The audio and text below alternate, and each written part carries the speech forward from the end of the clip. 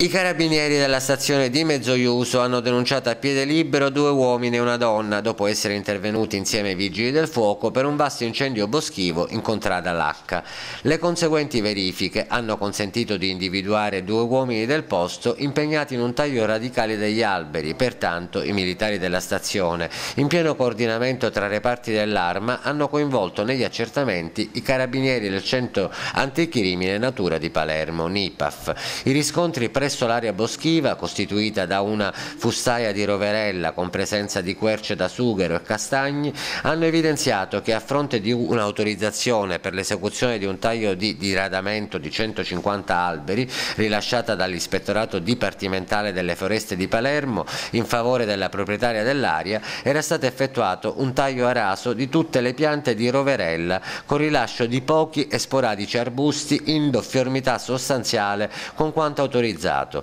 La proprietaria del terreno e i due uomini, esecutori materiali del disboscamento, ritenuti altresì responsabili per colpa dell'incendio dell'area boschiva, sono stati denunciati a piede libero alla Procura della Repubblica di Termini Merese. L'area pari a 8.000 m2, nonché il legname indebitamente abbattuto e gli strumenti utilizzati per il taglio sono stati sequestrati.